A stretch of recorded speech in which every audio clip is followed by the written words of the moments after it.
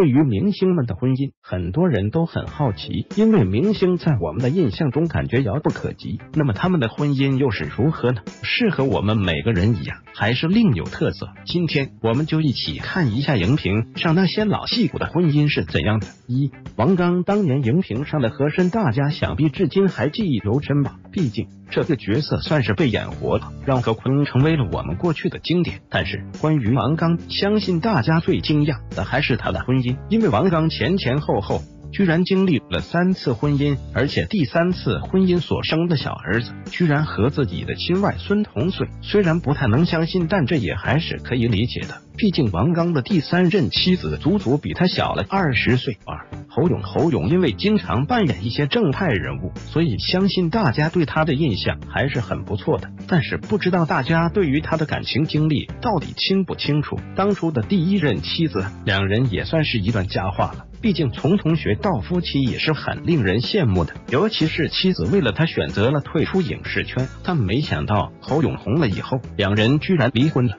之后侯勇的第二段感情也没长久，很快也破碎了。没想到他的第三段婚姻的妻子居然足足比他小了二十岁，这么看起来侯勇也是很有能耐的。三杜志国，杜志国也是我们的老熟人了，凭借年羹尧一脚打响了自己的名头，就连之前的湄公河大案，他也参演其中。说起来，他也是经历过三段婚姻的人。杜淳则是他与第一位妻子的结晶，不过由于后来他与第一任妻子的分离，导致杜淳与他的感情并不是很好。后来与赵娜在一起没多久，两人的感情又再次破裂，而杜志国又有了自己的第三次婚姻。杜志国的感情在娱乐圈中一直是一个谜的存在，毕竟之前还被曝光过别的感情。四唐国强，这要是能够回到过去，唐国强绝对和鹿晗等人一样，妥妥的小鲜肉一个。经历过这么多年岁月的打磨，唐国强也算是被磨练出来了，成为众人眼中的老戏骨。